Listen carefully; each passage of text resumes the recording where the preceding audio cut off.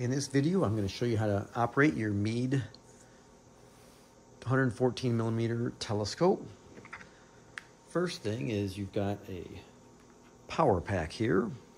So we'll plug in with this little adapter on the end of this. It just makes it the appropriate size plug. Just make sure the adapter is on the end of that. And then this has a simple on-off switch here. Shows you how much battery's left. So leave it off and we'll plug it in down here where it says voltage, 12 volts. Plug that in. I just always set it down here on the tray. You also will have your AutoStar controller.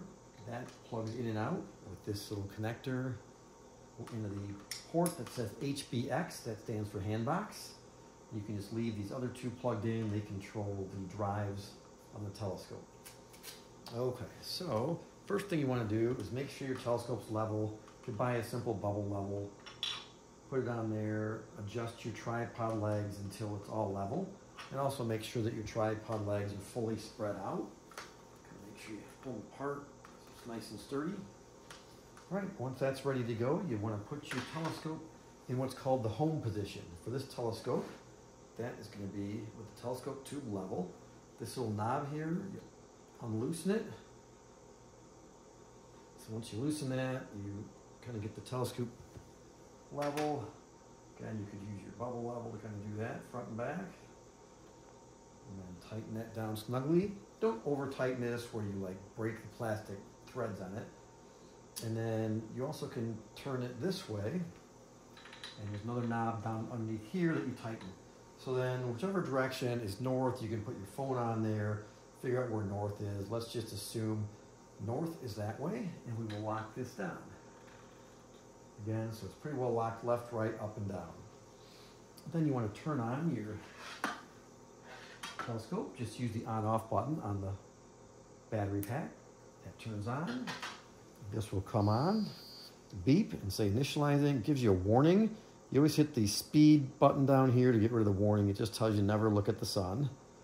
Once you do that, it says getting started.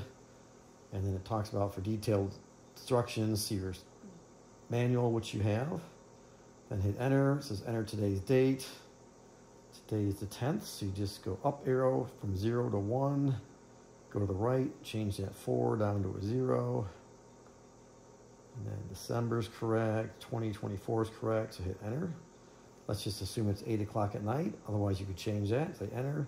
And daylight saving times either going to be no or yes. Currently, um, after November, we're no longer in day, daylight saving time, so you leave that no.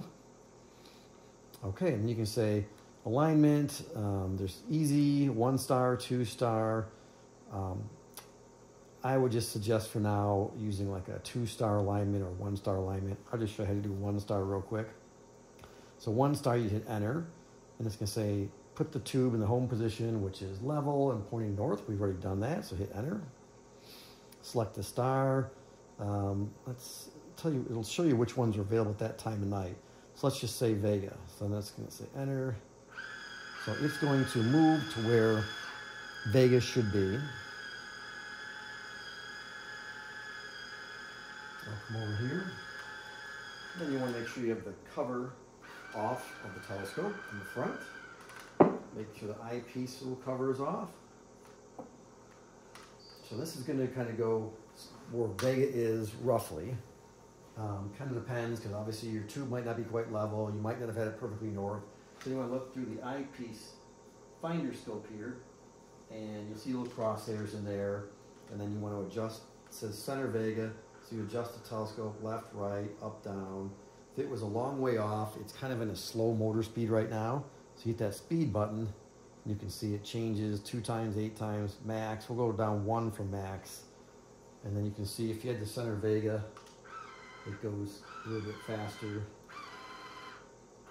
So once you get Vega centered, you hit enter, and it says align successful.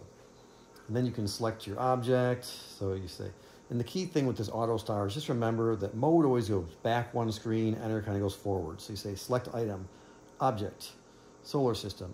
And if you said, oh, I didn't want solar system, again, you hit mode to go back to solar system and you have choices using arrow buttons down here.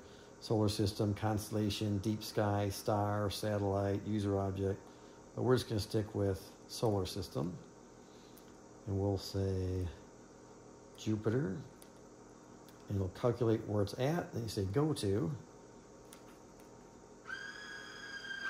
And it will go to roughly where Jupiter's at. Again, these are older telescopes, so it gets pretty close. It may not be exactly there, so you'll have to play around and, and get it centered by looking at where Jupiter is, getting it in the eyepiece and the finder scope.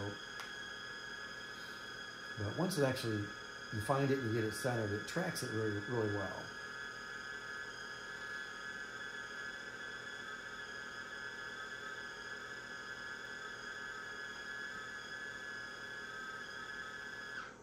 Okay, so it's getting to where it thinks Jupiter is, and again you would, once it finishes saying slewing, it'll beep.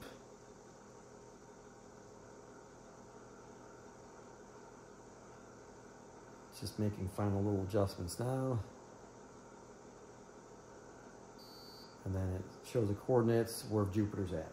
This is where you could um, look through here, and if Jupiter's not there, move it around a little bit to get Jupiter centered.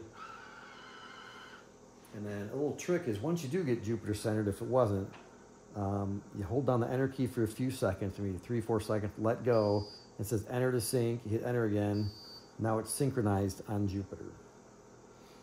So that's pretty much it. So you be Jupiter, the motors are running, so this, this Earth rotates and Jupiter kind of moves across the sky. The telescope will keep tracking it.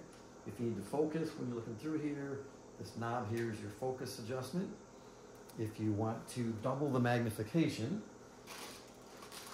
you have a what's called a two times Barlow, just basically means it doubles the magnification. And this just goes, unscrew these little things for the eyepiece, pull your eyepiece out, put your eyepiece in the Barlow first and tighten that, and then put that back in the tube. And I'm not sure how far fully this goes in. It should go in all the way. Once it just kind of gets seated in there, you tighten that down and you have to adjust your focus with the Barlow in there. And that will get it twice as large the object. Uh, when you're done with the telescope, all you have to do is basically turn it off using the power button on the battery, turn that off, make sure you put your caps back on, take the Barlow out, put the eyepiece back in, cover up the eyepiece cup, cover up the front of that, and then for carrying this, don't carry it by the tube, you could kind of damage the motor snap, but this metal U-shaped thing here is perfectly easy to carry it by, so you can carry it around by that, put it down. I usually just leave the controller on the same little tray as the battery and just pick it up by this U-shaped thing and move that in and out of the house. Hope that helps you learn how to use a telescope.